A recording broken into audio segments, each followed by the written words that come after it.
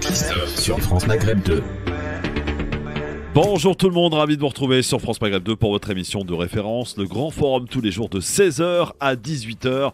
C'est parti en ce jeudi. Je vous en souhaite la bienvenue. Voici le programme pour aujourd'hui. On va parler du président ukrainien euh, Zelensky qui euh, propose euh, d'évincer la Russie du Conseil de sécurité. Est-ce vraiment sérieux? Présidentiel, on est à J-3. Est-ce que on peut envisager qu'Emmanuel Macron puisse perdre la présidentielle? Et puis, un terme qui est, euh, ma foi, très peu relayé dans cette campagne débattue. Euh, proposition aussi sur l'islamophobie. Rien ou presque rien en tout cas. On en reparlera évidemment avec nos débatteurs aujourd'hui, sans oublier le zapping et le quiz dans quelques instants. C'est parti pour le LGF sur France Maghreb 2 avec vos appels, bien sûr, amis auditrices, auditeurs, où le peuple s'exprime au 01 40 33 9000 01 40 33 90 00. Bienvenue en ce jeudi, sixième jour de Ramadan. Bienvenue tout le monde. Bienvenue dans le Grand Forum présenté par Christophe Fro. Le Grand Forum. Avec euh, à mes côtés aujourd'hui, Monsieur Smaïn Tefour. Euh, Smaïn, bonjour. Salut Christophe, bonjour, comment vas-tu? Alors Smaïn, c'est quoi ton blaze entier en, tant que journaliste? C'est Smaïn. Shamseddin, Ouais. comme le recteur de la mosquée de Paris. Voilà, c'est bien ça. Voilà. Euh, Smaïn Shamseddin Tefour, journaliste avec nous. À tes côtés, je vous présente, messieurs, dames, et elle va se présenter elle-même. Elle s'appelle Safia Etouarabi. Bonjour Safia. Salut Christophe. Bonjour, euh, ravi de te retrouver. Alors, comme le veut la tradition, comme c'est ta première dans l'émission du LGF en tant que chroniqueuse ou future chroniqueuse, est-ce que tu peux te présenter auprès des auditrices et auditeurs? Bien sûr, alors du coup moi c'est Safia Aïtoirabi, j'ai 20 ans, Euh, je suis étudiante à Créteil, euh, mais j'habite à Paris, je suis militante antiraciste, vice-présidente de SOS Racisme et je suis très contente d'être là. Eh ben, écoute, je suis content aussi que tu sois là. Bienvenue. Et on sera rejoint Merci. par euh, quelqu'un aussi qui euh, milite aussi dans le, dans le racisme, mais à une autre échelle. Il s'appelle Yasser Louati euh, et il est euh, président euh, du CJL, Comité Justice et Liberté pour tous. Il sera avec nous dans quelques instants. On commence cette émission, comme ne veut la tradition, par le quiz. Le quiz. Quiz. On va voir si la jeunesse peut éventuellement euh, mettre à mal les gens d'un certain âge. Un âge intermédiaire. Ouais, voilà, c'est ça. Première question. Quelle fédération de foot a été créée en France en 1919 La Fédération euh, française de football. Tout simplement. Tout simplement. Bonne Oh réponse. Pourquoi je réfléchis Bah ouais, c'est ça. Il a même C'est donné ça. la réponse, c'est ça. ça. Deuxième question. Euh, Qu'est-ce qui est dé- désormais pardon, remboursé par la sécurité sociale depuis hier? Question. Je suis pas vraiment à la page, a priori. Bah, Je suis Bah, mauvaise perdante. Pourtant, ça, comme ça, ça vous ferait pas de mal. Hein. ça fait pas de mal à personne d'ailleurs. Il n'y a pas que les fous qui vont les voir.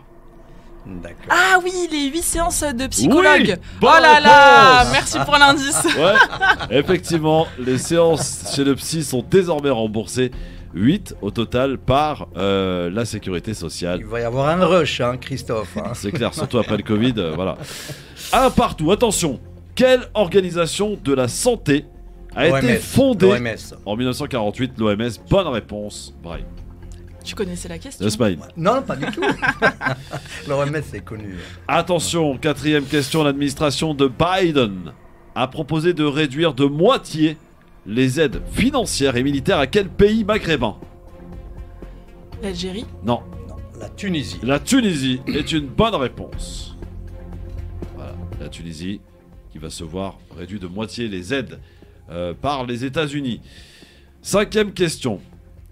Quel avocat proche, alors là c'est question pour Smaïn ça Ah forcément, oui. quel avocat proche de l'opposition algérienne a été assassiné à André Paris Mélissi.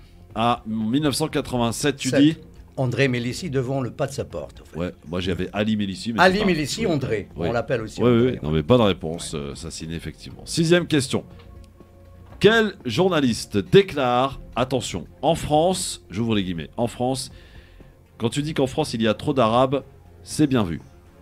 Quand il y a trop de juifs, on te met au banc de la société. Quel journaliste a prononcé cette phrase? Bonne question. Sur une grande chaîne? Euh, Un il a déclaré hein. euh, sur, euh, sur, euh, sur- dans les médias. Alors je sais pas si c'est une grande chaîne, mais en tout cas voilà ce qu'il a eu comme déclaration? Un indice, bah, il a un accent un petit peu du sud. Ah oui, Jean-Michel Apathy. Apathy. Jean-Michel Apathy, Apathy, bonne ouais. réponse. Ouais, Apathy. Bonne réponse Ouais. de Safia. On en est à combien là Ah, je sais pas. Nadège, t'as combien ou pas 3-2. 3-2. 3-2 Alors 3-2. tout peut-être... c'est- Attention, peut-être égalisation ou victoire de Smaïn sur cette question. Donc, quel journaliste français et présentateur également euh, de JT de 1975 à 1988, mort en 1998 Mais c'est pas mon époque aussi. oh. Non, ça n'a rien à voir. Je cherche un journaliste français qui a été présentateur du JT de 1975 à 1988, Mais de quel mort JT en 1998. Euh, tu veux pas que je te donne la réponse non plus? Un grand journaliste que tout le monde connaît, qui avait une voix un petit peu comme ça. euh. Jean-Claude Bourré? Non, il n'est pas mort.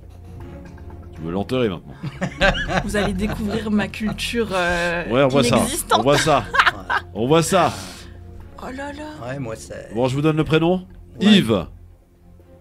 Ah, ben, ça Ah bah, Yves, euh, ça nous est... Yves. ça veut Yves, pas sortir. Vous êtes sérieux là Non, décidément, ça veut pas sortir. Yves Mais Il a été présentateur, Smaïn, sur TF1 ou France 2 ou je sais pas quoi, Ouais. TF1. TF1, oui. Pendant le, il a, le midi, je crois, ou le soir aussi. Euh... Yves, Mourou. Ah mais non Ah, bah, je franchement, suis ça, en là, je suis 2001. bloqué, là. Non, ça n'a rien à voir, ça, ça Bon, fait partie. et bah victoire de de. C'était Yves Mourouzi, ça vous dit rien? Oh, purée. non. Ouais. aïe aïe. Bravo mon Smaïn Ben, c'est une demi-victoire pour moi. Non, non, c'est une belle victoire pour Merci toi. à toi. Voilà. Safia Aetwarabi, euh, qui bah, dont c'est sa première. Mais Même la chance de débutante n'a pas marché là. C'est ça, exactement. Alors, euh, tu as 20 ans, tu es étudiante euh, en L3 de sciences politiques. Tu ça. voudras faire quoi quand tu seras grande? Oh là là, c'est une grande question. Là, là, je suis en train de chercher, euh, bah, tu sais, les masters. J'aimerais bien poursuivre mes études. Et là, j'aimerais bien faire de la sociologie. Étudier le collectif, les gens. Moi, ce qui m'intéresse beaucoup, c'est la politisation des jeunes, notamment quand on est issu de l'immigration. Comment est-ce qu'on se politise? Est-ce qu'on se politise sur l'international? Ce qui se passe en France, l'antiracisme? Moi, ça m'intéresse beaucoup. Après, je t'avoue, je suis un peu euh, inquiète pour, euh, pour mon avenir. Je, je Pourquoi tu inquiète, Safia? Dis-moi. bah, comment te dire? C'est-à-dire Tu que. vas voter pour la première fois dimanche là? Ouais, ça va être ma, mon premier vote, première présidentielle. C'est Ah, première présidentielle, alors. parce qu'il y a eu deux- Ouais. les, les régionales. Avant, il y a eu les municipales et Oui, tu as voté. ça, la européenne. J'avais voté. Ouais. Et euh, là, Est-ce que tu as fait ton choix pour dimanche? Oh non. Non? Non, mais sérieusement, sans nous dire Non, quoi, t'es pas obligé. C'est très dur. Bah, sans surprise, moi, je vais voter euh, à gauche parce que j'estime qu'il faut. Alors à euh, gauche, il y a du monde. Hein. Ouais, bah, à Il y a gauche. il y a Hidalgo, il y a Roussel, il y a Mélenchon, il y a Jadot. Jadot, si on le met à, à gauche, il y a Poutou. Alors, pour, pour, pour tout vous dire avec sincérité, je, je pense, comme tout le monde, qu'on se pose des questions sur le vote utile. Ah, Est-ce qu'on va voter pour euh, le candidat qui euh, a Et- plus de chances de passer au deuxième tour, qui est Jean-Luc Mélenchon? Moi, je me pose ces questions, mais je, suis aussi, je me pose aussi la question de faire un vote contestataire. Notamment un Mais vote qui euh, qui se situe plutôt euh, à l'extrême gauche, où en fait je me dis aujourd'hui, nous on a une jeunesse, nous les étudiants, euh, mes camarades ils ont eu faim, ils se sont suicidés. Euh, Emmanuel Macron pose la question de la privatisation de l'université. Il y a eu l'extrême droitisation des discours racistes, etc. dans les médias. Et je pense que c'est important aussi de faire un vote contestataire, mais au vu d'un éventuel débat Macron-Le Pen, ça m'inquiète aussi. Donc mon choix pour dimanche, il est pas fait. Je est encore, en encore dans les spectatives. D'ailleurs, comme 35% des Français. Dans un instant, le zapping et notre premier débat qui nous emmènera euh, vers ce président un peu étrange, Zelensky. A tout de suite. Le LGF sur France Maghreb 2, le grand forum. Merci d'être avec nous. Votre émission de référence tous les jours de 16h à 18h sur France Maghreb 2 avec aujourd'hui euh, à mes côtés Smaïn Chefseddin Teifour qui est euh, journaliste euh, sur France Maghreb 2 avec nous et Safia Aetawarabi euh, qui est vice-présidente de SOS Racisme et étudiante en L3 de sciences politiques à Créteil sur France Maghreb 2. Alors c'est parti pour le zapping, c'est les meilleurs moments de ce qu'il fallait rater ou peut-être ne pas rater d'ailleurs l'occasion et séance de rattrapage. Et je précise qu'on sera rejoint par euh, Yassar Louati dans quelques minutes, le président du CJL. Pour commencer ce euh, zapping, un petit lapsus intéressant hier sur TF1 de Emmanuel Macron. Écoutez. Moi, j'assume totalement, totalement, d'avoir constamment, au nom de la France, parlé au président de la Russie. pour éviter la paix, pour éviter la guerre, pardonnez-moi. Ça, c'est gratuit, c'est pas mal, ça me fait plaisir, ça me fait rigoler. Bon, voilà. Euh, Smaïn, En effet, ça fait rigoler, oh, tout à fait. Ouais, bah, ça va un peu, c'est cohérent un peu avec la politique actuelle qui est menée par euh, l'Occident d'une manière générale ouais. et la France en l'occurrence. euh, c'est- un peu avéré, on va dire. il avait un peu de mal hier hein, pour parler de pouvoir Ah, d'achat il- hier soir ouais, sur il TF1. était mal à l'aise. ouais, il, était mal à l'aise. hein. il Emmanuel Macron fait-il une bonne campagne, Safia? Est-ce qu'il a déjà commencé une campagne C'est une campagne assez antidémocratique. Il n'a pas voulu le débat. Il a refusé le débat avec les petits candidats. Il a méprisé Philippe Poutou jusqu'au bout. Euh, moi, j'appelle pas ça une campagne. hein. Ouais, Pourquoi Philippe Poutou? C'est-à-dire pourquoi Philippe bah, Poutou? Pourquoi tu me cites Philippe Poutou? Bah, Parce qu'en fait, Emmanuel Macron a précisé qu'il ne voulait pas débattre avec Philippe Poutou. il, a, il voulait pas débattre avec tout le monde en fait. Ouais, mais notamment avec Philippe Poutou. Ah ouais? Ouais. C'est ce D'accord. qui est sorti de ses conseillers proches et de ses sources. D'accord, ok, bah merci pour l'info. Euh, on retourne sur ce qui s'y a failli se passer une catastrophe euh, à l'atterrissage d'un avion Air France euh, en provenance des États-Unis. Euh, C'était donc euh, lundi soir. Écoutez les échanges radio, c'est assez impressionnant euh, ce qui s'est passé ou ce qui a failli se passer. Heureusement, les pilotes ont été très bons. Écoutez. Pour Air France euh, 0, confirmé atterrissage, euh, autorisé atterrissage 26 gauche. Je confirme Air France 011, 230 degrés, 8 nœuds. Merci. Oui. Stop, stop. Air France 011, Euh, Je vous rappelle, je vous rappelle. Air France Hotel Whisky, euh, stoppez la montée 1500 pieds immédiatement. Air France Hotel Whisky Oui, on stoppe 1500 pieds. Stop.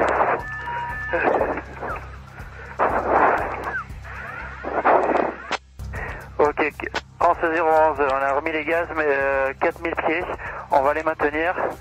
On vous rappelle.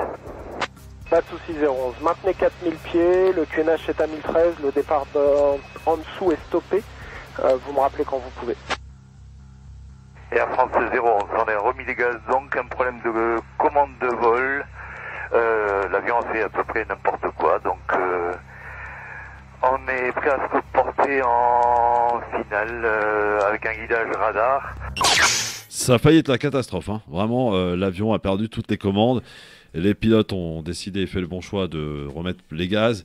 Il y a une enquête qui est euh, d'ailleurs euh, lancée parce que l'incident aurait pu être très très grave. Euh, ça vous est déjà arrivé, vous, un- une petite expérience en avion, peut-être Smaïn ou Une Safia fois, oui, Ah ouais, qu'est-ce qui s'est passé Raconte-nous. en partance d'Algérie, à un moment Ouais. donné, euh, donc il y a eu euh, un grand bruit. On ne comprenait pas, c'est comme si on heurtait un rocher, mais en fin de compte, on était bien sûr dans les airs. Ouais. Et ça nous a vraiment donné euh, la pétoche. hein. donc euh, et on a eu une peur bleue. C'était la première fois de ma vie que je vivais un événement aussi intense. Hmm. Safia, t'as as eu des, des Bah, petites. euh, Écoute, à part des turbulences pour aller en Algérie ou au Maroc, Ouais. non, ça va. Et je n'en souhaite pas. Effectivement. Bah, je vous rassure dès maintenant, le- les accidents aériens sont très très rares Plus comparés rares que aux ceux de voiture, voilà, ceux de voiture. ouais. voilà. Ouais, heureusement. Là, ça aurait fallu être une catastrophe quand même. hein, Absolument, voilà, oui. côté de Roissy. Euh, heureusement, tout s'est bien terminé. Et voilà, il y a des, des pilotes quand même euh, qu'on salue, euh, qui font un travail extraordinaire. Euh, Il y en a un qui euh, amuse plutôt la galerie dans cette campagne. Il s'appelle Jean Lassalle. Écoutez. Nous sommes dans une situation d'impuissance totale. Nous nous agitons et en fait, nous faisons le jeu, hélas, de Poutine. La presse écrite euh, continue à être abominable. Vous, vous avez êtes dit, euh, obligé- Abominable, vous dites. Ah oui, non, la presse écrite est en dessous de tout. Le Parisien, euh, Le Monde, actuellement, c'est tragique. Jean, Jean Lassalle euh, qui fait une campagne. bah alors, euh, voilà, il amuse un peu la galerie, quoi. C'est un peu la distraction de cette euh, campagne. On le prend pas au sérieux, Jean Lassalle, et pourtant, A peut-être. priori, ouais, a Ouais. priori, mais bon, c'est quand même un, un candidat parmi tant d'autres. Il a quand même un projet, donc euh, il, faut, il est à respecter ce projet. Bien sûr. Il a des idées Bon, euh, arrêtées. il fallait se taper quand même son meeting 2h30, c'était long, hein, je te jure. Ah ouais, Ah, il fallait se Bah, supporter quand même. C'est vrai, mais comme d'ailleurs pour, pour tout le monde, hein, des fois, euh, c'est c'est pas vraiment ce qu'on attend de nos candidats. Ouais. Bon, en tout cas, Jean Lassalle, euh, il t'inspire un peu il t'a- il- Quel est ton sentiment quand tu écoutes Jean Lassalle, Safia, très honnêtement? Alors, c'est vrai que je t'avoue, Jean Lassalle, c'est peut-être le, le candidat qui m'inspire euh, le moins. C'est-à-dire que moi, en tant que jeune, euh, tu sais, on reprend beaucoup ces mèmes, ces mimiques. Moi, il y a une chose qui me restera toujours en tête, c'est euh, ma maman m'a créé en huit jours. Alors, je sais pas pourquoi ça partira jamais de ma tête. Je t'avoue qu'il m'inspire pas grand-chose. Son projet politique ne m'a jamais parlé. Il parle pas plus que ça aux jeunes. Il fait rire les jeunes. Euh, voilà, c'est... Je Ah, t'avoue que je ne concentre pas aussi, trop hein. ma réflexion sur, euh, sur lui, quoi, politiquement. Très bien. Euh, 01 40 33 9000 les amis pour euh, donner votre avis là aussi. Euh, Il y en a un qui est lui euh, persuadé d'une chose ou peut-être de deux choses. Il s'appelle Éric Zemmour. Tout simplement pour une bonne raison, c'est que je serai au second tour et que donc le, le 25 au matin, je serai soit président de la République, soit chef de l'opposition. Ah, quand même, ça commence à baisser là. Il, ça, il dit plus qu'il sera président de la République. Il aimait l'hypothèse qu'il pourrait devenir aussi chef de l'opposition, mais il n'aimait pas la troisième hypothèse, la plus vraisemblable, c'est qu'il ne soit rien. Exactement. c'est ça. C'est la voilà. C'est la plus Éric probable, hein. Zemmour, franchement. Hein? Mais il s'est calmé, je crois, depuis. hein. Bah, il a fait un peu marche Ouais, arrière ouais, et a c'est vrai que la, crise en Ukraine vraiment ne lui a pas facilité les choses parce que euh, en fait on a parlé d'autre chose que ces sujets de prédilection, à savoir euh, Le eh grand bien, remplacement. le grand remplacement, l'insécurité. Alors il y a, il y a ce truc qui est tombé- qui euh, qu'on a évoqué hier. Ces appels téléphoniques où Éric Zemmour vous envoie des messages pour voter pour lui. Vous n'avez pas reçu? Non, pas Non, encore. Merci, ça ira. Non bah, il Je ne pense pas, vu mon nom patronymique. Moi je non ne plus. pense pas. À ce propos, est-ce que vous avez reçu les professions de foi? Non plus. Euh, Ça, ça, c'est un, vrai problème démocratique, ça. Oh, oui. Ouais. On est jeudi, on est à J-3 du premier tour, on n'a pas de profession de foi, je ne l'ai pas dans ma boîte à lettres. On n'a pas beaucoup parlé de patrimoine aussi, euh, Christophe. Comment ça, ce patrimoine Ah bah, Le patrimoine de- des candidats, on n'en a pas ça, parlé oui. beaucoup. Oui, mais ça, on s'en fout. Ah Euh, bah, euh, Les 500 000 normalement, euros d'Emmanuel Macron, je crois pas. ouais, 500 000, tu crois qu'il n'y a, pas- il y a pas un peu plus quand même. Bah, Il y a tout le scandale euh, autour de l'offshore, de Rothschild, de la banque, euh, de ses financements, du scandale McKinsey. En fait, Emmanuel Macron, s'il ne mène pas de campagne, c'est parce qu'en vrai, lui, il est un quinquennat du scandale. Et en fait, il a peur de ça. Ouais. bah, il évite même les chaînes publiques, Christophe. Ah oui, euh, ça a provoqué la colère des journalistes de France 2 Tout à d'ailleurs, fait, oui. euh, Euh, concernant sa- son non-venue euh, euh, sur euh, France Télévisions. Alors il sera, et par contre, il veut parler aux jeunes, puisqu'il sera sur Brut demain soir à 19h. C'est d'ailleurs par cela qu'il va terminer sa campagne. C'est par Brut demain soir à 19h. Sachez-le. Bon. Bah, c'est noté. hein. Bon. Euh, sinon, qu'est-ce que j'ai? Ah Est-ce qu'on a demandé à Jean-Luc Mélenchon s'il avait commis une erreur dans son appréciation de lecture de la crise euh, en Ukraine? Voici ce qu'il dit. La seule erreur que j'ai commise, c'est quand j'ai cru les services français et les autorités françaises et M. Zelensky plutôt que les Américains. Alors maintenant, je m'en souviendrai pour le futur. Quand les Américains disent qu'il y a un risque d'agression, eh bien, c'est pas les Français qu'il faut écouter, c'est les Américains. Il est taquin, ce Jean-Luc Mélenchon. Ah, franchement. Euh, voilà. Jean-Luc Mélenchon qui a, alors, qui a planté une radio, quand même, pas n'importe laquelle, RTL, mardi matin. Il les a plantés euh, pour. euh, alors, son staff dit qu'il est un peu fatigué, qu'il faut le ménager, euh, parce qu'il avait un gros meeting dim- mardi soir, les fameux hologrammes. Il a quand même planté la première radio de France. Voilà, RTL. C'est Jean-Luc Mélenchon, quoi. Ça lui Et- ressemble. Voilà, c'est ça. Il était fati- fatigué, 70 ans en même temps. Ah, il a le droit d'être fatigué, Christophe. Bah oui, non, bien sûr, mais bon. Euh, voilà, 01 40 33 9000. Est-ce que vous avez reçu votre. Ça nous inquiète, quand même, cette histoire? Alors, il paraît que la distribution de ces professions de foi était, euh, dans le temps, euh, distribuée par une société privée. Et c'est maintenant la Poste, sauf que les syndicats de la Poste n'ont rien trouvé mieux que de demander quoi? Une prime. Et euh, a priori, c'est ce qui pose un petit peu le problème. Il y a des gros retards de distribution euh, de professions de foi. Euh, ce qui fait qu'il y a des gens comme moi, comme Safia, comme Smaïn, toi aussi. On Oui, les a pas dans à la boîte aux lettres. Ouais, on n'a rien Nadège, reçu. t'as- T'as reçu la neige Non, pas du tout. Non plus. Allez, on est 1, 2, 3, 4 dans le studio, personne n'a reçu. Est-ce que vous les avez reçus? 01 40 33 9000 pour nous dire, voilà, c'est un, c'est un problème démocratique. Non mais pour de vrai, euh, Safia, c'est un vrai sûr, problème. Mais bien sûr, mais parce qu'en fait, il y a plusieurs choses. Déjà, euh, c'est une élection où il y aura énormément d'abstention.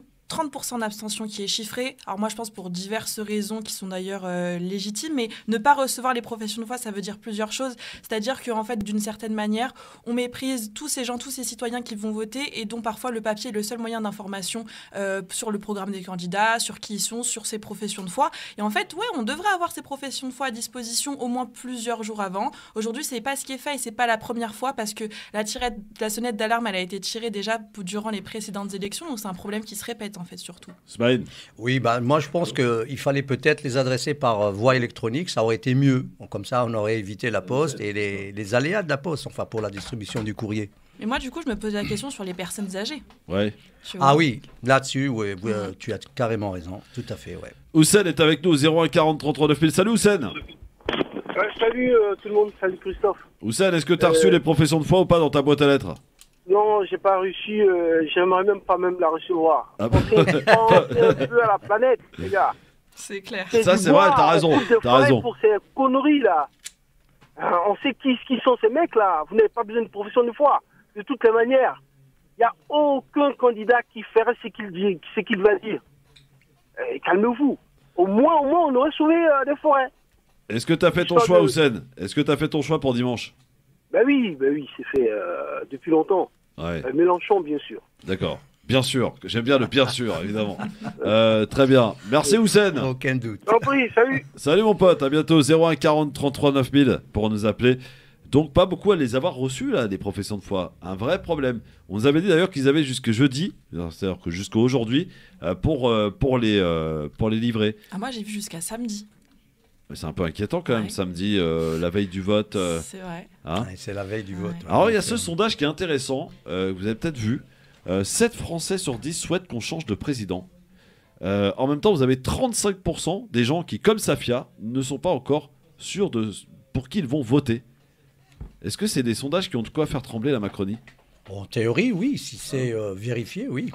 Tout à fait. Parce que là, ça, ça dénote un peu de l'état d'esprit des électeurs qui, ma foi, donc, ont un peu annoncé ce- cet avant-goût par rapport à la présidentielle. Et on risque d'avoir, Christophe, euh, des votes sanctions. Ouais. Vote sanction, et, euh, le, le 7 Français pour 10, ce- sur 10 pardon, qui souhaitent qu'on change de président. Est-ce qu'on peut avoir un, un appel à tous contre Macron le premier soir de la présidentielle? Euh, au premier peut- tour, oui. Ouais, au premier tour. Euh, Karim qui nous appelle d'Orléans, 102.6 pour nous écouter à Orléans. Salut Karim. Salut euh, l'équipe. Salut mon Salut. Karim. Est-ce que tu as reçu la profession de foi mon Karim? Bah nous à Orléans on a reçu, enfin moi euh, concernant on a reçu ça euh, ce midi dans la boîte aux lettres. Ce midi Donc euh, ouais ce midi ouais. D'accord, donc c'est arrivé, Ah ouais, ça y limite, est. limite, hein. Bon, Donc ça arrive aujourd'hui avec euh, avec pas mal de retard mais bon euh, nous en tout cas c'est arrivé. Après je pense qu'il y a encore des, des régions ou peut-être des, des des secteurs où ils n'ont pas encore eu euh, la distribution. Mais bon Ouais. c'est vrai que c'est cette année enfin cette euh, présidentielle là c'est vrai que c'est Bizarre. il y a eu pas mal de retard. ouais. C'est c'est c'est c'est vra- vraiment vraiment vraiment tard sur euh, Ouais. On est aujourd'hui jeudi. Il y en a certains qui vont recevoir ça ven- vendredi, peut-être même samedi pour, pour le dimanche. Ouais, c'est vraiment, vraiment limite. hein. Mais bon, c'est vrai qu'aujourd'hui, ils auraient pu, ils auraient pu quand même dématérialiser un petit peu avec, euh, avec, avec ce qui se fait un peu partout. Ouais, parce que hein. alors quel gâchis au niveau du papier? Vous Ah bah oui, ça c'est sûr, parce que les enveloppes, en plus, elles sont assez, elles sont assez chargées. Hein. Non mais il y, a des- il y a des familles où il y a 3-4 personnes, 5 même plus qui votent. Bah, voilà, c'est à chaque fois. Euh, on fait une en- enveloppe, euh, une enveloppe par, euh, par, une enveloppe par personne. électeur, ouais. Voilà, vous imaginez le Par gâchis. personne, Beaucoup. ouais. Euh, Karim, t'as fait ton choix pour ce dimanche? Euh, je suis encore un petit peu indécis entre, Ah. entre deux candidats, mais, euh, Bon, d'accord. mais bon, euh, il y aura, il y aura, il y aura, il y aura un choix qui sera fait au moment de, au moment de déposer l'urne. Bon, et bien tu nous tiendras au courant lundi. Merci mon Karim.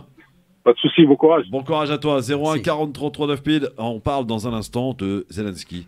Ce président ukrainien qui souhaite qu'on euh, évince la Russie du Conseil de sécurité. À tout de suite. Le LGF, le grand forum. Merci d'être avec nous et de nous écouter un petit peu partout en, France. C'est marrant, on m'envoie des petits messages. Euh, oui, j'ai reçu la profession de foi du côté de Marseille. Euh, je salue la famille Kera, voilà Kera, gros bisous et Tolkum, euh, pour ce soir. On a reçu à Marseille apparemment les professions de foi. Bah, dites-nous un petit peu si vous les avez reçues. 01 40 33 9000. Euh, bien entendu, on rappelle ici nous à Paris, en tout cas euh, vers chez nous là, on n'a rien su. hein. On est quatre dans le studio, habités en région parisienne. Personne ne les a reçus. Dites-nous si vous aussi vous les avez reçus. 01 40 33 9000. C'est un peu ennuyant quand même, hein, J-3 de, de ce premier tour. Euh, nous sommes avec euh, Smaïn, euh. Chef Seddin Taïfour. On va que je m'habitue. s'arrêter à Smaïn. Ouais, je m'habitue, mon vieux. hein. Qui est avec nous, journaliste évidemment. Safia Aetwarabi, euh, qui est vice-présidente de SRS Racisme et euh, qui est étudiante en L3 euh, sciences politiques à Créteil sur France Maghreb 2. On va parler maintenant de Zelensky, euh, le président ukrainien qui euh, intervient partout et euh, qui est devenu euh, euh, le, chef de guerre. euh, euh, aujourd'hui, qui essaie un petit peu d'in- d'instrumentaliser tout ça, enfin pas d'instrumentaliser, mais en tout cas d'emmener avec lui euh, beaucoup de pays, l'Occident, les Américains. euh, Enfin, les Américains, non, il ne fait qu'obéir aux Américains plutôt.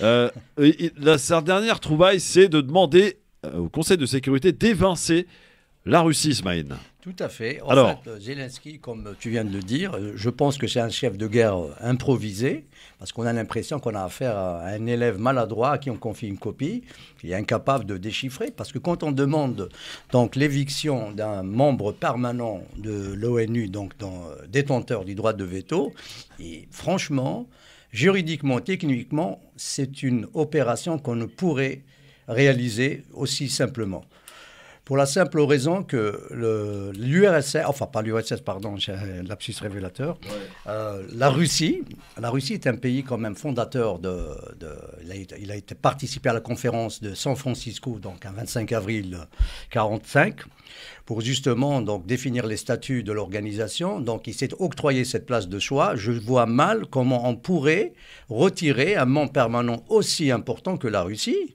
de, du, du, du, Conseil de sécurité euh, de l'ONU. ça, serait, ça serait, sa fin en fait. Absolument, sa fin. Absolument. Safia, est-ce que ton, ton, avis un petit peu sur, euh, bah, sur ce qui se passe, euh, sur cette horreur, hein, cette, la guerre, il ne faut pas oublier que c'est la guerre quand même, mm. mais quand même ce, ce chef de guerre, là, Zelensky. Euh, Alors déjà, tu disais c'est un chef de guerre improvisé, ça c'est sûr. C'est un chef de guerre. Euh, non, non, c'est Smain qui disait c'est un chef de guerre improvisé, c'est sûr. Ça c'est un chef de guerre improvisé. Moi, ce que je pense, j'étais en train de me renseigner un peu sur euh, Conseil de sécurité de l'ONU et tout. Donc en fait, on a, je crois, cinq membres statutaires et je mm. vois que dedans, il y a notamment la France, les États-Unis, il y a 15 membres. Il y a 15 membres, dont 5 permanents. Il y a 15 ça, membres. Les, les 5 membres permanents. Et en fait, la Russie est un membre permanent. Mais je vois que dans les membres permanents, en fait, il y a aussi la Chine. Et avec, il y a toute la question des, euh, par exemple, des Ouïghours aussi. Donc en fait, dans ces cinq permanents, on a plein de grandes puissances qui ont également commis euh, des exactions où la Chine en fait est en train de commettre euh, c'est ça ou qui est en train de commettre hein, un, hein. un, génocide. Moi je pense que moi je vois en tant que jeune ce dont j'ai envie de parler même je vois en France hein, parce qu'en France en Europe ils se posent la question de ou sanctions économiques ou sanctions de guerre et tout. Moi je crois que ces voix là elles sont déjà assez portées. Moi en tant que jeune vraiment la voix que j'ai envie de porter c'est qu'aujourd'hui je crois qu'il y a de jeunes Ukrainiens qui n'ont rien demandé à 20 ans qui sont en train de porter les armes et de se défendre comme ils peuvent. Mais il y a aussi il faut le rappeler des jeunes Russes qui descendent dans la qui descendent dans la rue contre l'antidémocratisme de Poutine, euh, contre la guerre. Et je pense que c'est ces gens-là à qui il faut donner de la force davantage qu'à des grandes décisions étatiques. Oui, c'est vrai. Le, peuple, effectivement, qui subit, les civils en premier lieu, euh, que ce soit ukrainien. Euh, alors, aux Russes, il y a eu des reportages sur place, a priori. les Russes, ça n'a pas changé grand-chose pour eux, malgré la fermeture de beaucoup de, euh, de, de, marques euh, américaines. Les sanctions qui ont été opérées. Euh, finalement, comme l'a dit, comme le disent les Russes, les sanctions vont finir par se retourner contre, se retourner contre vous, contre ceux qui les donnent en fait. Finalement, on voit, on voit ça parce que ça permet aux, aux entreprises locales, donc aux Russes. Bah, Burger King, par exemple, permet bah, l'entreprise locale russe fait des hamburgers très très bons également. voilà, la seule différence pour les Russes, d'après ce qu'on en sait, et, et, Safia, c'est que visiblement les prix des produits de première nécessité ont augmenté, mais j'ai envie de dire, c'est un peu comme tout le monde, comme bah, nous ici. Chez nous, hein. Ah voilà, par exemple, aller trouver de l'huile de tournesol, il y en a quasiment plus. Il paraît qu'on est en retour de pénurie, ouais, il y a une pénurie, pénurie effectivement. Donc euh, les sanctions, on voit qu'à chaque fois, ça se passe à base de sanctions. Smaïn, oui. qu'il faut arrêter avec ces sanctions? Absolument. ça sert à rien. Il faut arrêter parce que là, euh, ils ont renforcé Poutine pour la simple raison que le rouble, il a gagné donc en valeur. Euh, je crois, de 6%. Oui, on rappelle que la Russie a annoncé que pour les pays inamicaux, selon elle, euh, pour acheter le gaz euh, russe, il faudrait payer en rouble. Voilà. Absolument. Même Donc ça oblige à ces pays d'acheter du rouble, tout simplement. Ah oui, tout à fait, oui. Mais ils ont même rattaché leur, leur monnaie donc à l'or. Comme, par exemple les, les, Américains, ils avaient justement pour renforcer le dollar à l'époque, ils avaient attaché donc leur monnaie euh, alors qu'ils ont après détaché en 1973, je crois. Mais ils ont fait quand même du chemin pour renforcer euh, leur monnaie, ce que les Russes sont en train de faire actuellement. Et les Occidentaux, euh, d'un côté, sont en train de les renforcer sur ce plan-là. Ils ne se rendent pas compte, franchement, mais euh, d'ailleurs, pas plus loin que ce matin, euh, Viktor Orban, qui sort victorieux de ces élections, il avait clairement signifié aux Occidentaux, notamment allemands et français, qu'il allait, que le, gaz et le pétrole russe étaient une ligne rouge qu'il ne fallait pas franchir, et qu'il était disposé à payer en roubles. Donc, ça, ça d'ailleurs, le, comment on appelle ça, le, New York Times, d'ailleurs, a fait part justement de ces, ces divergences entre États de, membres de l'OTAN, dont notamment les Européens de l'Est et les Occidentaux. 01 40 33 9000 pour nous dire si finalement ces sanctions servent-ils à quelque chose. Est-ce qu'elles pourront faire plier euh, le président du Kremlin, euh, Poutine euh, 01 40 33 9000 Ou alors, euh, au contraire, est-ce que vous êtes un petit peu comme l'ensemble de l'équipe à penser que finalement ces sanctions ne font que euh, bah, se retourner contre ceux qui les prononcent finalement. Voilà, les pays occidentaux. Quand on voit par exemple que l'Europe nous dit euh, il faudrait que l'Europe puisse se passer du charbon russe, euh, c'est une vaste blague. Je veux dire, il y a des centrales nucléaires qui vont devoir fermer en Allemagne par exemple. Euh.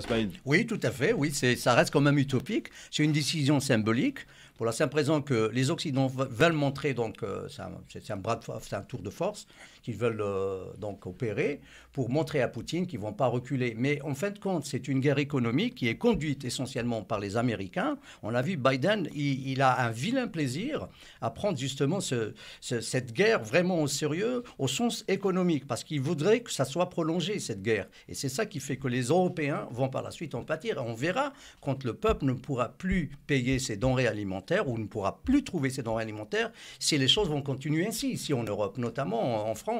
C'est ça le problème. Safia, est-ce que finalement euh, les médias français, on a l'impression qu'ils ont choisi leur camp et ils ne n'émettent aucune euh, réflexion, aucune hypothèse. C'est euh, voilà, c'est c'est- c'est- c'est ça et pas autrement.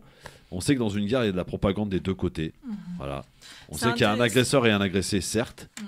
Voilà, mais on sait que voilà, on est dans une guerre, on est aussi dans une dans une de guerre de de- d'énergie.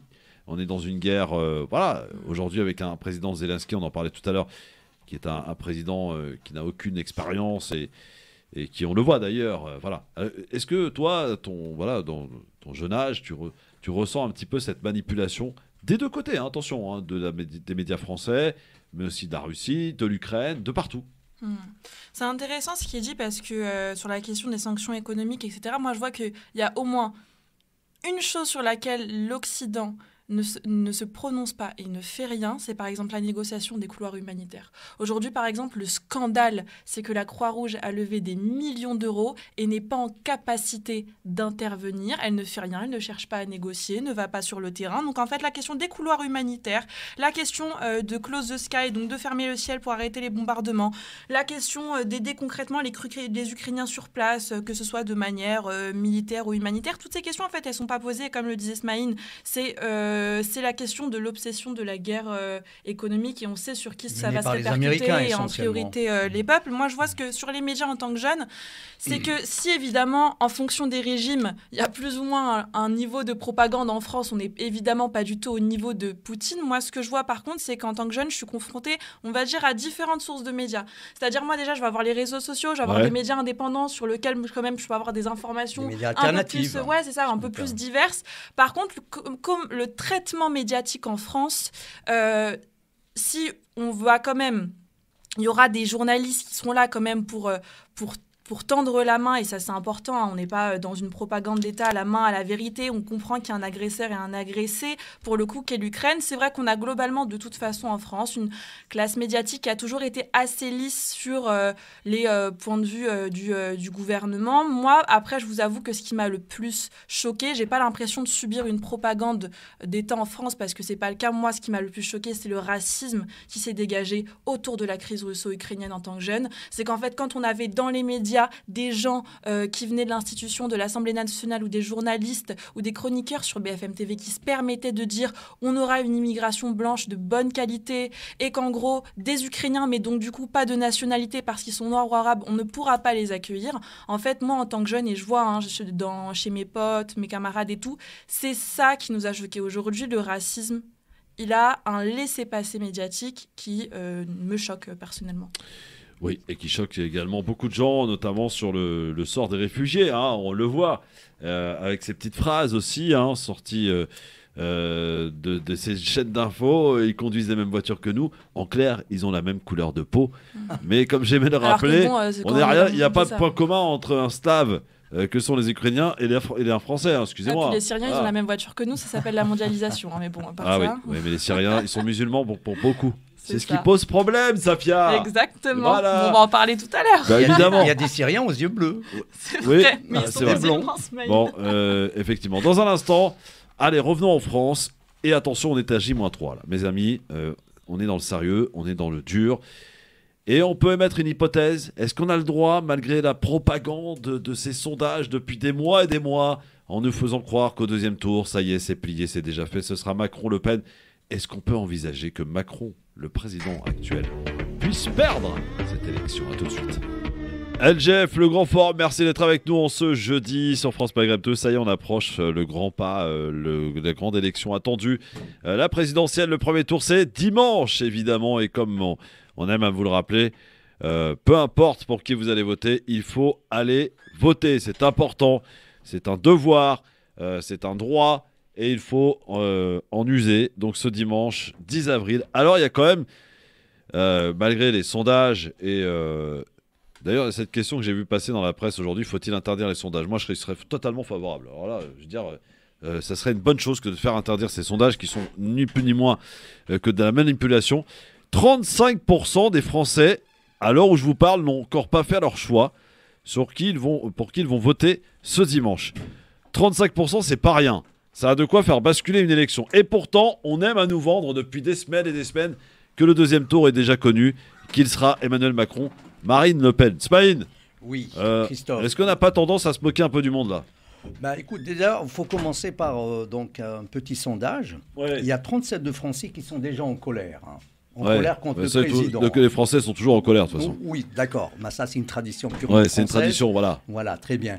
Par contre, pour les élections, il faudrait quand même en prendre en compte. Parce que là, c'est euh, quand même un cri d'appel qui, qui, qui, qui dénote d'une colère, on va dire, et d'un mécontentement généralisé.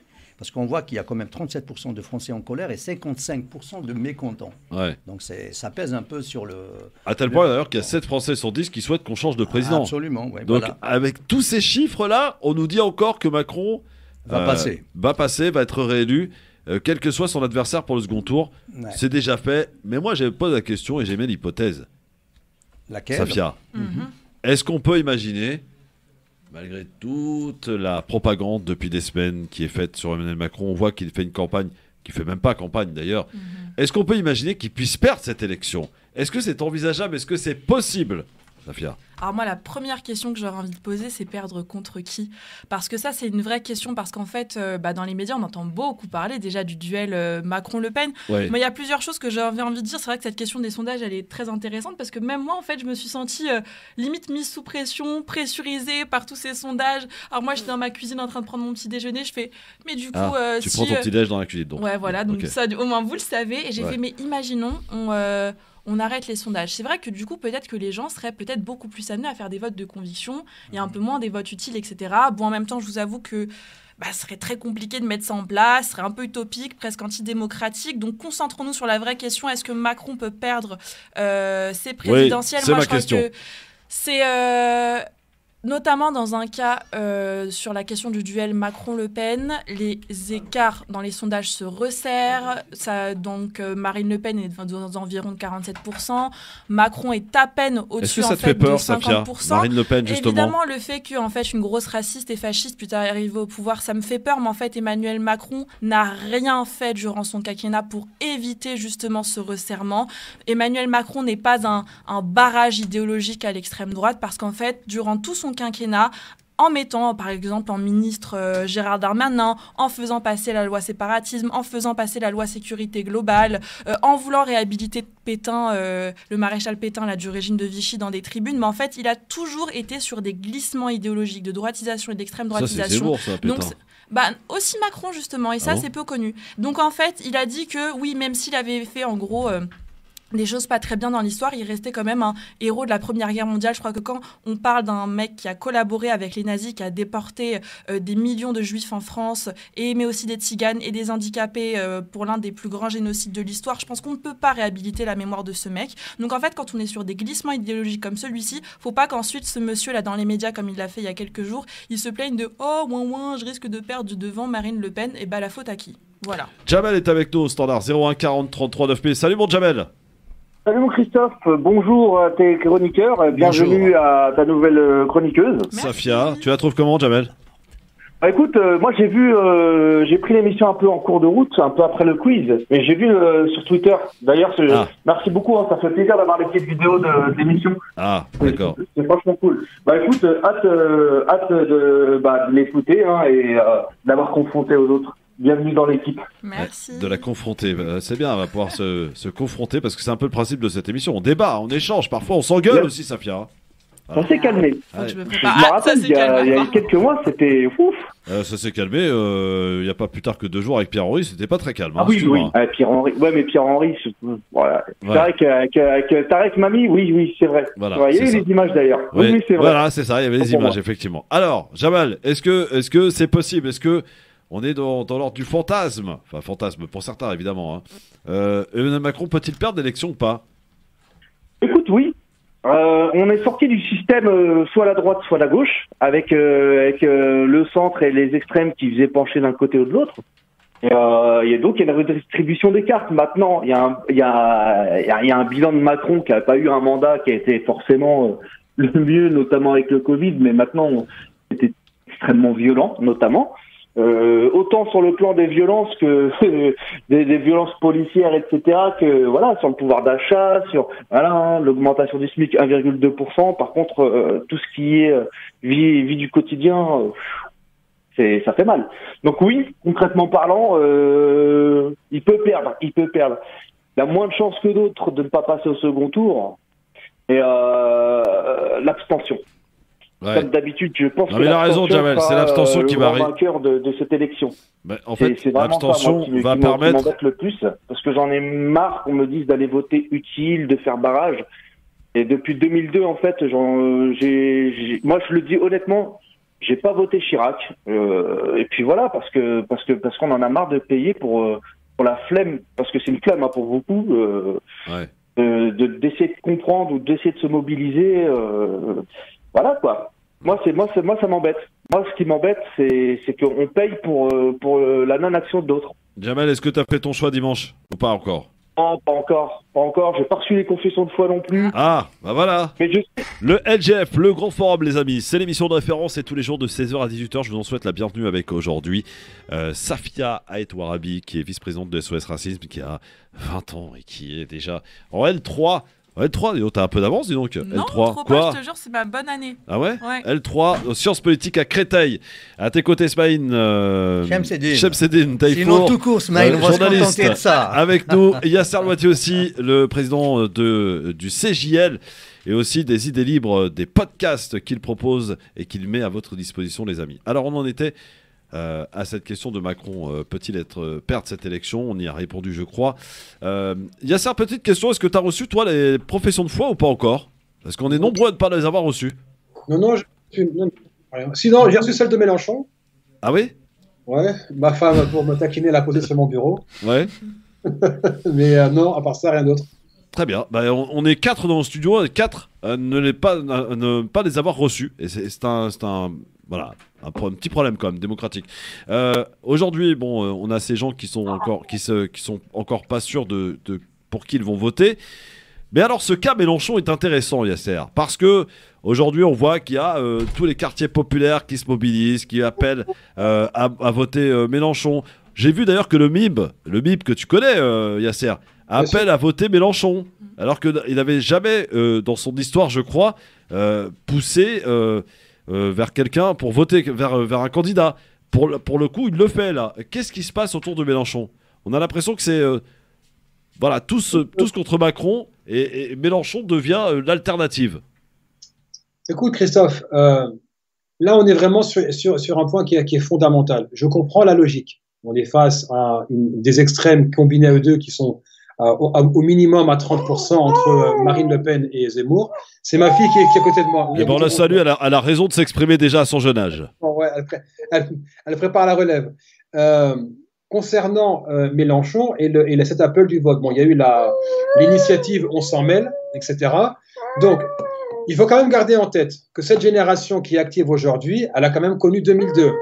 On lui a dit, il faut voter Jacques Chirac, sinon... Attends, quitte pas.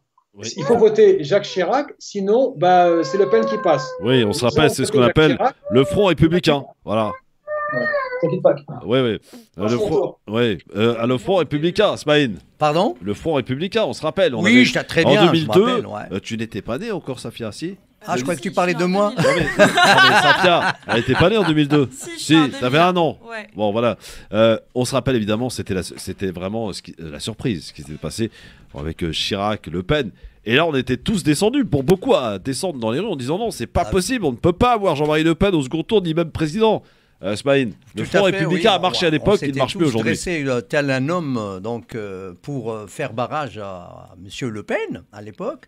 C'était et en plus du côté Chirac, c'était ou moi ou le déluge. Donc il fallait absolument donc faire le bon choix, même pour certains qui n'étaient pas pour Chirac. Ils ont été quand même euh, convaincus du, du bien fondé de voter pour euh, Chirac en, en personne. Quoi.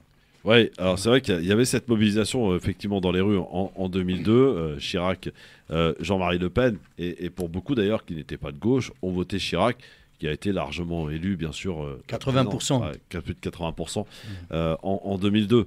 On s'en souvient. Aujourd'hui, on a l'impression, et c'est là le danger, l'inquiétude, c'est que Marine Le Pen, son discours s'est banalisé. On l'a rendu beaucoup plus sympathique. D'ailleurs, Zemmour l'a rendu beaucoup plus sympathique. Absolument, et pourtant, ouais. les idées ne changent pas. Le parti reste le même, hein, Safia. Exactement. En fait, euh, je crois que aussi le, drame de cette campagne, c'est qu'en fait, euh, Éric Zemmour, par son racisme, sa haine des musulmans, son antisémitisme, comment il aime Pétain, tout ça, en fait, euh, je vois, hein, c'était là, il y a aujourd'hui, c'était un, fasciste qui s'appelle Julien de, de Rochedy. Il- avant, il militait dans la jeunesse Front National, qui dit, et je crois que c'est symptomatique parce qu'aujourd'hui, c'est ça que pensent les racistes en France, c'est mais en fait, Marine Le Pen, elle a fait une très bonne campagne parce qu'en fait, elle a pas trop existé. Ça lui a permis de lisser son image parce qu'à côté d'elle, elle avait un mec qui paraissait euh, dans l'excès.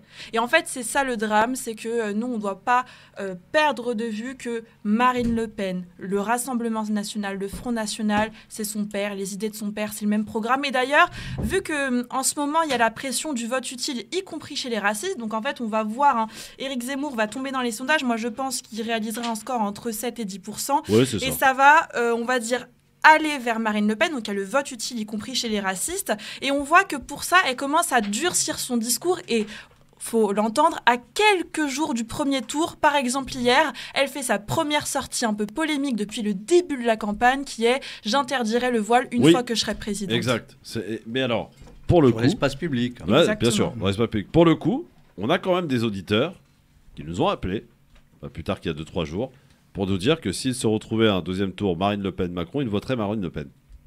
Bah, c'est des fous alors. Bah, non, c'est- c'est- voilà, ils l'ont dit, ils l'ont dit. Pour, euh, je ne sais pas s'ils le feront réellement, en tout cas. euh, C'est le vote sanction dont je te parlais tout à l'heure, euh, ah, Christophe. Il y, a- eu une phrase qui était euh, dans le dernier meeting de Mélenchon, qui a fait un appel justement à cet électorat. Il les a appelés euh, les. euh, Fâchés, pas fachos. Fâchés, pas fachos, voilà. Euh, qui d'ailleurs n'est pas de lui, hein, je crois, la phrase a été de quelqu'un d'autre, je sais plus qui, mais c'est pas de lui. Les fâchés, pas fachos, ils sont quand même nombreux aussi, à ces gens qui habitent la ruralité, par exemple, et qui votent Marine Le Pen pour, pour dire voilà, ça suffit, on a tout essayé, maintenant on veut changer tout, pourquoi pas, on n'a plus rien à perdre, quoi. Ça existe, ce genre de, de contestation, ce vote contestataire pour Mhm. Marine Le Pen. Safia, il faut pas le nier. Ça existe, ce vote contestataire, et c'est pour ça que euh, euh, à Mélenchon, là, pour ces derniers jours, il est dans une espèce de, de course pour essayer d'attirer les fâchés pas fachos. J'aimerais quand même dire quelque chose à, à- à Jean-Luc Mélenchon, c'est que si on peut évidemment transformer les votes contestataires du bon côté de la barricade, c'est mieux, mais quand même, quand on est fâché, pas facho, très souvent on s'abstient parce que quand on décide de faire l'acte qui est de voter Marine Le Pen, c'est quand même qu'on est déjà un tout petit peu facho. Ouais, ouais. Yasser, t'as retrouvé euh, ton calme ou pas? Non, Il apparemment non. Non, il est pas parti, il est en train de s'occuper de, de sa, sa petite fille. fille. Voilà, bah c'est ça, c'est la vie, c'est le grand Eh forum, ouais. les amis. Voilà. Euh, 01 40 33 9000, les amis, pour nous dire euh, justement. Euh, justement le vote, le vote Mélenchon, est-ce que c'est le vote utile? Marine Le Pen, c'est le vote utile pour les gens de droite? Finalement, aujourd'hui, on se retrouve dans une élection où il y a que des votes utiles, mais contre qui? Un même adversaire, finalement, quand on y réfléchit bien. Absolument, oui. Euh, pour euh, Macron, il n'y a pas de vote utile, parce Ouais. qu'on a déjà essayé. Donc, on a vu le quinquennat de M. Macron. Donc, je pense que les gens ont déjà un avant-goût. Pour Marine Le Pen, c'est une autre chose. Et pour Mélenchon, c'est aussi une autre chose que simplement de deux bords différents, on va dire. Oui. Euh, Méziane est avec nous au 01 40 33 9000. Bonsoir Méziane. Allô, bonsoir. Oui, bonsoir. Ok, d'accord. Bon, c'est pas Méziane. Pour Ah, une pardon. fois, au moins c'est quelqu'un d'autre. C'est quand même un Autant, Africain, autant pour mais moi. bon, Autant pour moi. Ton prénom, c'est comment euh, c'est l'ange. Lange. Ouais. Tu nous, a- tu nous appelles d'où Je suis dans le 95. là. Très bien. Alors on t'écoute, euh, cher Lange. Bon, alors, qu'est-ce que vous souhaitez pour Mélenchon ou alors Marine Le Pen? C'est une question que tu nous poses? Oui. Bah, moi, je te la retourne. Qu'est-ce que tu souhaites, toi? Bon, moi, je vois pas Mélenchon. Ouais. Malheureusement, pourquoi? Pourquoi? Il y a trois choses. Un, il veut pas euh, voir les capitalistes. Deux, il veut pas voir la police. Trois, euh, retraite à 60 ans. Ouais. Est-ce que aujourd'hui, les jeunes d'aujourd'hui qui commencent à travailler à 25-30 ans, ils vont partir à 60 ans? Non. Bien sûr que non. Et pour ceux qui ont euh, toute leur carrière, en tout cas, ils pourront le prendre à 60 ans. C'est ce que propose Mélenchon. Ah, bon, ah ben ça, bon. C'est comme, c'est comme, c'est comme euh, d'habitude, hein, à partir du moment euh, quelqu'un commence à travailler à 16, 17, 18 ans, ben bon, là, mais, mais aujourd'hui, il n'y a plus personne qui travaille à cet âge. Ouais. Toi, tu, tu dis que c'est- une proposition qui, qui est uto- utopique, quoi. C'est une Ah, proposition. bah, ouais, ouais. ben justement, ben après. Bon, toi, après, est-ce que t'as un fait gars, ton choix, moi- toi, moi, moi, je vous dis franchement, Ouais. je suis un gauche. Ouais, mais est-ce que t'as le fait ton problème, choix? Après tout ce qui s'est passé, ça me fout les nerfs de voir comment ça devient la gauche aujourd'hui, franchement. Est-ce que tu as fait ton choix, toi, pour dimanche ou pas encore, Lange Non, non, non, non, je je le fais pas encore parce que j'ai les nerfs, parce que c'est franchement, quand je vois Il des faut se calmer, sous, Lange. Toubira et... Tu sais, quand et tu nous parlais, on avait l'impression que c'était Jean Lassalle, tu sais. Euh, la vitesse de Jean Lassalle. Un C'est un deux de tension. Lange, je te souhaite une bonne soirée. Merci de ton appel, en tout cas. Ok, merci. Au revoir. À bientôt. Revoir. Tiens, un copain du LGF, un chroniqueur du LGF, un défenseur de Jean-Luc Mélenchon, Nasser Lagili. Bonsoir, mon Nasser. Bonsoir Christophe, bonsoir à tes invités. Euh, Je vois que c'est des nouveaux, donc euh, je. je Bah, me suis Smaïn, dit, faut il est pas nouveau. parce que euh, j'en- j'entends des choses. Smaïn, il a commencé il y a quelques semaines. Oui, c'est- c'est oui, oui, il y a quelques nouvelle. semaines, mais euh, c'était plutôt. euh, J'ai j'ai oublié le prénom de la fille. Safia. euh, Safia. Safia, voilà. Ouais. Alors moi, moi j'ai j'ai écouté attentivement tout ce qui est dit, hein, mais euh, déjà juste l'auditeur juste avant avant moi, euh, il, parlait euh, la haine qu'il a envers la police, etc. Ça c'est triste à dire. Hein, Peut-être que je vais le fâcher, mais c'est des gens qui n'ont pas lu le programme de, Mélenchon.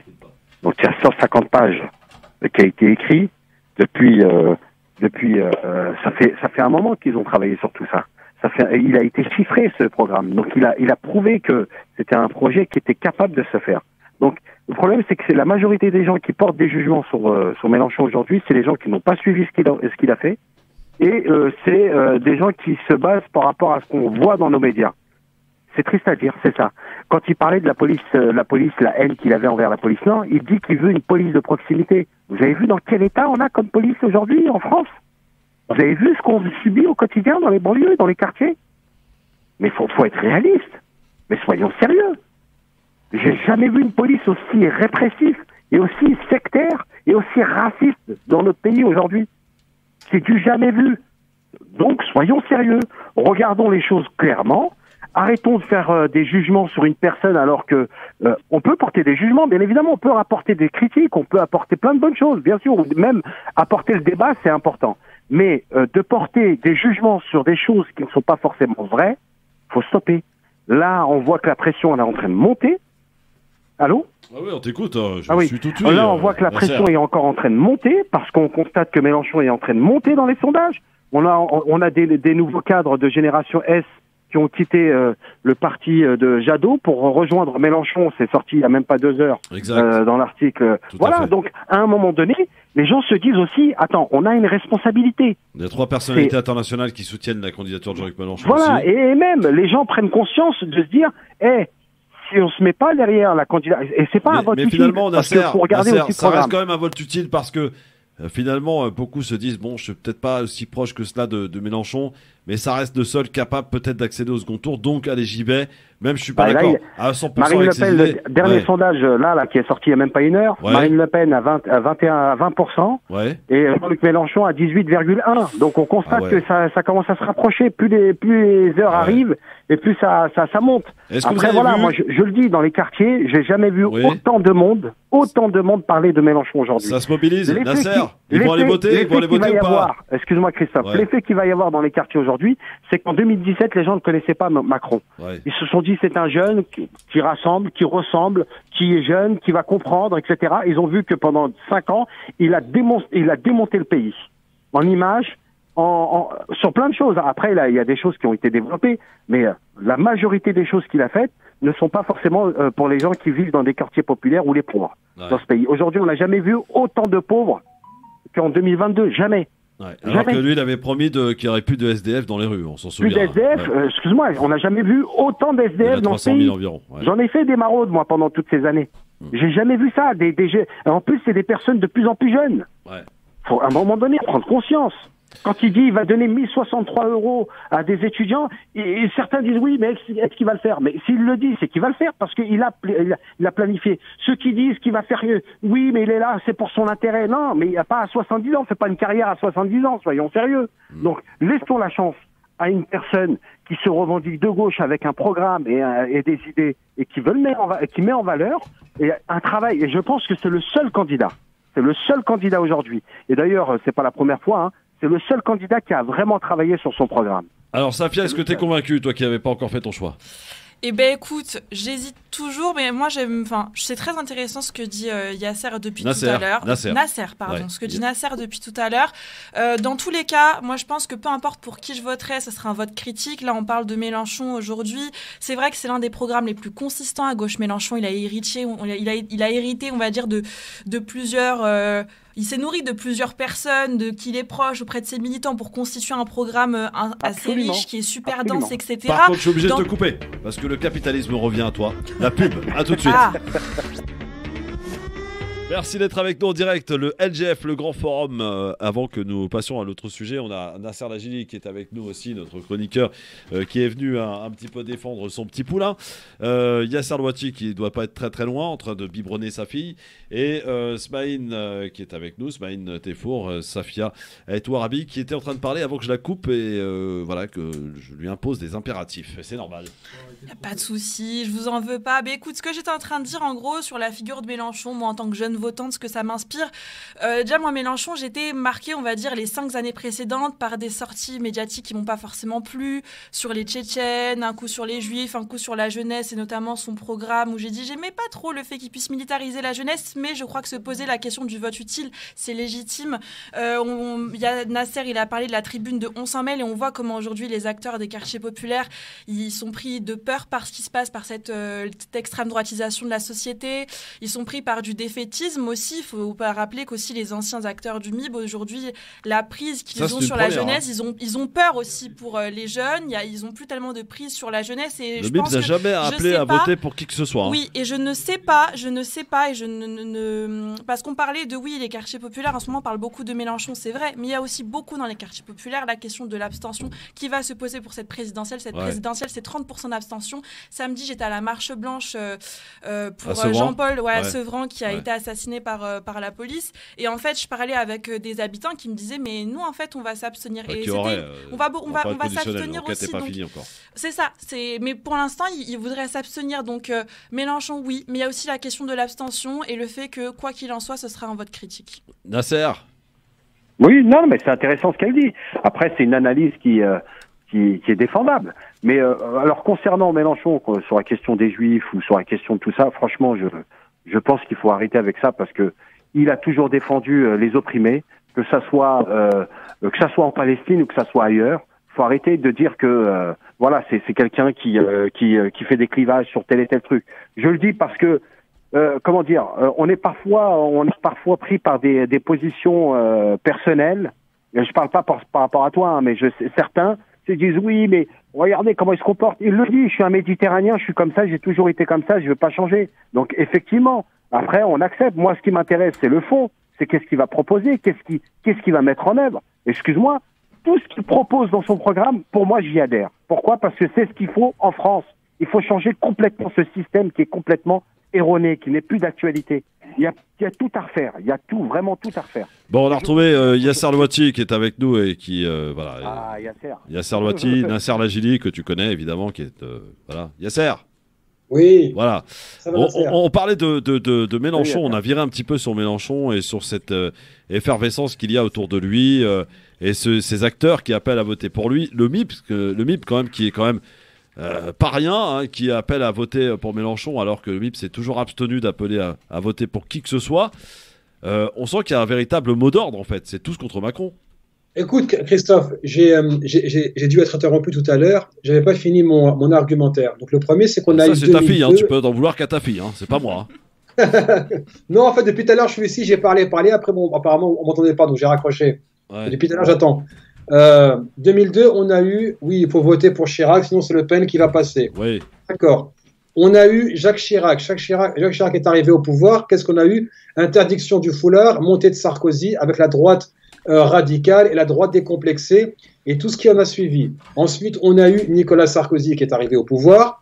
Jacques Chirac n'a pas fait grand-chose pour stopper ça. Au contraire, Jacques Chirac a même appelé au vote d'une loi d'interdiction du foulard dans les, dans- dans les écoles. En Et 2004. avait même fait pression sur la commission Stasi qui devait statuer. Ça veut dire que depuis Tunis, il avait dit il nous faut une loi. Donc en même temps qu'on dit on va créer une commission, il dit il faut une loi. Bah, Bernard Stasi, c'est son pote. Il va pas aller contre lui. Une loi est passée. Ensuite, on a eu ce même chantage. Pardon, chantage est un peu fort, mais ce même en fait euh, dilemme.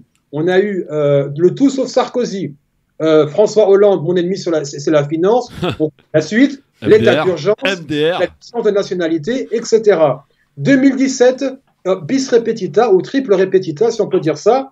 On a Macron contre euh, contre Marine Le Pen et on nous dit le péril d'extrême droite. Moi, ce qui m'a posé problème, c'est qu'aujourd'hui, on peut dire oui, le MIB a appelé. Honnêtement, moi, pour moi, ce n'est pas une bonne idée. Mais il ne faut pas oublier qu'en 2017, des organisations musulmanes avaient fait campagne pour euh, Macron. Emmanuel Macron. Absolument.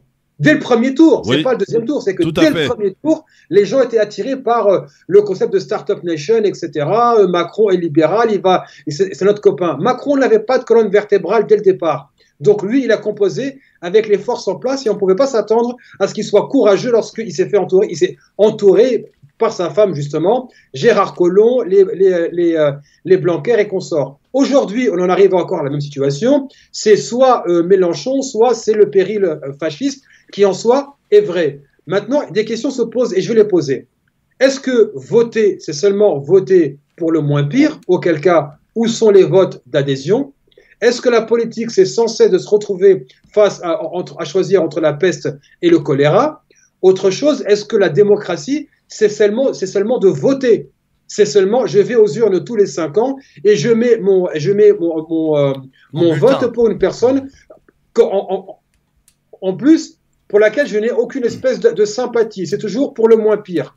Et en même temps, bah ouais, si c'est ça qu'on qu'on, euh, pose comme, euh, voilà, comme dilemme, faut pas en vouloir à ceux qui s'abstiennent. Nous n'avons plus des partis politiques qui suscitent l'adhésion. On, depuis 20 ans, on vote pour des candidats et à chaque fois c'est pour le moins pire. Ben, à un moment, ah, il, il- il fut un temps, je disais aux abstentionnistes, vous faites le jeu des, ex- des extrêmes, honnêtement, ces personnes-là qui s'abstiennent, je les comprends parfaitement. Quant au choix Mélenchon, bah, je voulais revenir sur les points que je voulais euh, développer tout à l'heure. C'est que déjà, il faut quand même garder en tête euh, qu'il a lui-même alimenté l'islamophobie pendant des années. Il n'a pas fait amende honorable, sauf verbalement avec des discours. Euh, il n'a pas intégré dans son équipe, entre guillemets, un terme que je déteste, plus de diversité. Il n'a pas changé le mode de fonctionnement de son parti slash mouvement. Et je reprends ce qu'il avait dit dans un long entretien dans le 1 hebdomadaire. Il avait dit La clé de voûte de la France, de la France insoumise, c'est moi. Donc en gros, tout repose sur moi. C'est un parti qui tourne autour d'une La. République, c'est moi Voilà. donc quel genre de république on va avoir avec un homme qui se définit comme la clé de voûte de Alors, son on va propre poser la question à Nordine, qui est avec nous, auditeur. Euh, bouge pas, mon insert, hein, t'es avec nous. Hein.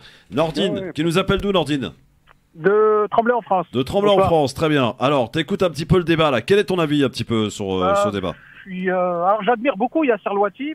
Ouais. Par contre, sur ce côté-là, je suis un petit peu déçu. Ah.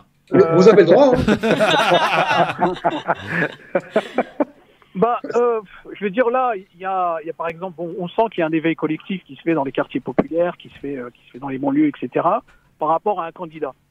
Moi, je pense que bon, ils ont, si je prends les gens des quartiers populaires, des, etc. Ils ont, ils ont pas un panel de choix. Ils voient qu'une seule personne qui leur propose un, enfin, qui leur propose un programme qui, leur convenir. c'est pas vrai. Après, moi, je suis d'accord avec il y a Yasser pas un programme pour eux. Je, suis- je- je suis d'accord avec Yasser quand il dit à chaque fois on est, on est, on est toujours dans le taupe, souffle, euh, la peste et le choléra. Ça fait, euh, ça fait 20 ans qu'on est dans ce truc-là. Moi, je suis d'accord avec lui pour, euh, pour, pour ça. Pour voter à chaque fois pour le moins pire, c'est pas normal.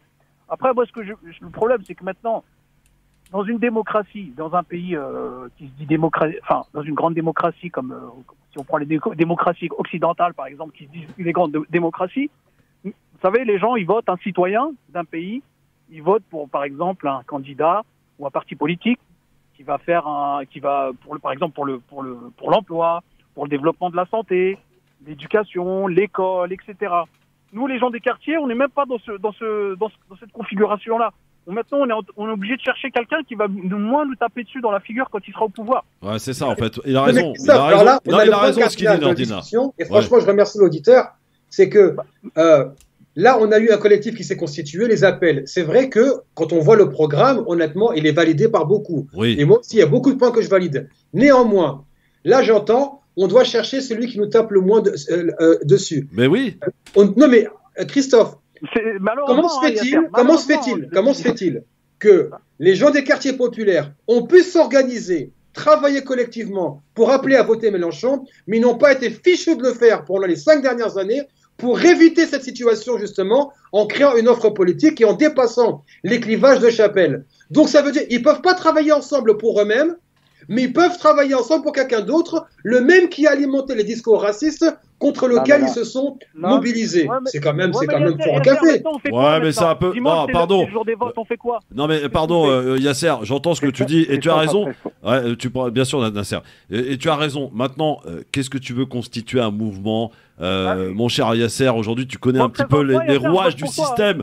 Aujourd'hui c'est très compliqué. On voit mais qui Christophe, pèse. Faut arrêter d'être utopique. Faut arrêter de vendre du rêve Yasser. Non, non, je ne vends pas du rêve. Je ne vends pas du rêve. Écoute, tu sais très bien que je suis dans la tambouille militante depuis des années. Oui, bien sûr. Tu sais, écoute, regarde, tu sais quoi, regarde. c'est pas en 5 ans que tu vas constituer un mouvement. Je veux dire voilà. en 5 ans, non mais en 5 non excuse-moi, en 5 ans il s'est passé énormément. En 5 ans, on a défait la déchéance de nationalité. Ouais. En 5 ans, on a connu l'état d'urgence. Ouais. En 5 ans, il y avait un début de convergence Ouais. après la loi travail. Sauf que, et tu- tu- écoute, j'étais à la radio de- à, à cette époque-là, les gens sont retombés dans les rivalités pathétiques en, oubliant l'au-delà de leur propre personne. Donc, vas-y, 5 ans, allez, 20 ans. Chirac, on a voté pour lui il y a 20 ans. Donc, à un moment, honnêtement, moi, je salue la ténacité de Jean-Luc Mélenchon qui n'a pas lâché, le morceau. Honnêtement, je, voilà, je suis un ancien sportif, je respecte beaucoup la personne qui bosse.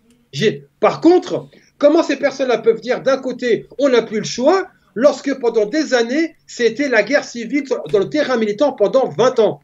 Qu'est-ce qui a été constitué La preuve, la loi séparatisme a démontré de manière euh, qu'on ne peut pas renier, le sérail militant n'a pas résisté et était incapable de le faire. Donc, la loi séparatisme, et concernant les musulmans, c'est même pas la peine. La loi séparatisme, c'est comme un bilan comptable qui dit le mode d'organisation est une faillite. Bon, Donc, merci, euh, merci en tout cas à notre auditeur de nous avoir appelé. Euh, on, on doit euh, évidemment passer la pub maintenant. Merci en tout cas de ton appel, très intéressant, très très intéressant même. Et à bientôt. Et, et- et bonne soirée à toi, Na- Nasser Laji. Reste avec nous parce que j'aimerais dans un instant qu'on parle de quelque chose qui est totalement absent, absent pardon, de, de la campagne. C'est l'islamophobie. À tout de suite. Il reste très peu de temps, les amis. Le débat est très intéressant aujourd'hui avec euh, Nasser Lajili, avec Yasser Louati, avec euh, Sophie- euh, Safia, pardon, euh, Aït Arabi et avec Smaïn euh, qui est avec nous, Smaïn Tefour. Euh, Linda de Nancy aussi qui nous a rejoint. Euh, Peut-être juste pour clore le, le sujet de- sur, sur Mélenchon, si un de vous souhaite rajouter quelque chose, c'est le moment avant de parler de- d'islamophobie. voulais- Oui, Nasser. Ouais, moi je voulais intervenir par rapport à ce que Yasser Louati a dit juste avant. Oui. Allô? Oui, oui, on t'écoute. C'est Linda qui a raccroché. Hop. Euh, ce que dis- ce que disait euh, Yasser tout à l'heure. Après, moi, il faut il faut voir aussi l'évolution sur la question de, de des musulmans. hein. Euh, Jean-Luc Mélenchon a, a, a eu un changement de position depuis qu'il est devenu député et surtout à Marseille quand il a été interpellé à plusieurs reprises par des mamans voilées pour dire Eh, arrêtez de nous stigmatiser, arrêtez de nous critiquer, arrêtez de nous taper dessus, et qu'il a pris le temps hein, de débattre et de discuter avec eux pendant plusieurs années. Et il a compris que derrière, il faisait du mal à une partie de la population qui n'avait rien à voir avec ce qu'on Nasser, nous euh, pardon, te couper, Donc, pardon de te couper, mais des habitants de la circonscription de Mélenchon sont très en colère après lui parce qu'ils ne l'ont jamais, quasiment jamais vu en 5 ans. À Marseille. Ah, hein. quand même, si. Ah bah non, bah, Marseille, attends, je alors. peux te présenter Enfin, des gens. arrête, Nasser, arrête, arrête, Il y, a- il y a des gens euh, que je connais très bien. Je vais allez, je te cite le nom. Kauter Ben Mohamed. Demande-lui ce qu'elle pense de Mélenchon. Elle habite dans sa circonscription. Elle était vraiment. D'ailleurs, euh, Faiza, Faiza appelle à voter Mélenchon. Ouais, bah oui, bah, Faiza appelle à voter Mélenchon, mais elle habite pas Marseille, Faiza, elle habite Nice.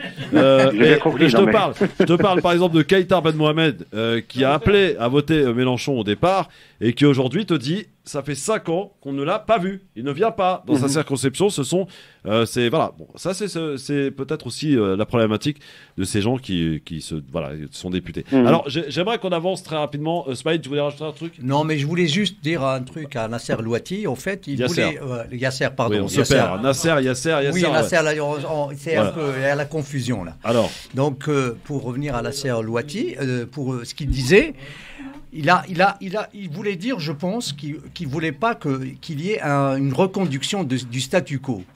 Ah, c'est ça, le- Nasser Louati, ou je me trompe? C'est ça, à peu près, plus ou moins, ouais, c'est ça, plus ou moins. En Voilà. fait, Et est-ce que- et- pardon. le diktat du- qui nous est fait tous les cinq ans. Absolument. C'est vrai que là, sur ce point-là, je suis entièrement d'accord avec toi, parce que là, on est dans la reconduction du, du statu quo. Et pour revenir aussi avec la Gili, euh, est-ce que Mélenchon pourrait justement constituer cette alternative pour qu'il y ait une rupture avec le système actuel Bah, bien évidemment. C'est, déjà, il a, il, il a, il a même proposé la sixième République. C'est pas pour rien qu'il propose ça, parce qu'il sait que le système est complètement erroné. Aujourd'hui, euh, on parlait tout à l'heure de diversité. Il y a, il y a énormément aussi de, de personnes de la diversité en interne qui se battent pour faire en sorte que euh, les, les, les choses changent et évoluent. Parce que effectivement, il y a des problèmes dans, dans toutes les euh, dans toutes les organisations politiques. On est confronté à ce problème-là Ouais. que les gens des quartiers populaires ou des gens issus des